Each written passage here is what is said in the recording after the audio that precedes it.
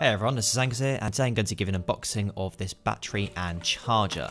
So I bought this for my Canon 90D, so I will be testing that later in this video.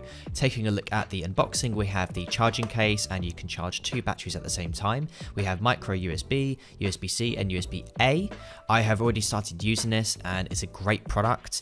Here are the two batteries, and here is me slotting them in. One feature I like that is included is some LEDs for the charging status. When I put the battery into the Canon 90D, I found there were three out of four bars of battery. In the case, there's also an SD card slot. So this case has a couple of features which I really like, and so far I would thoroughly recommend it.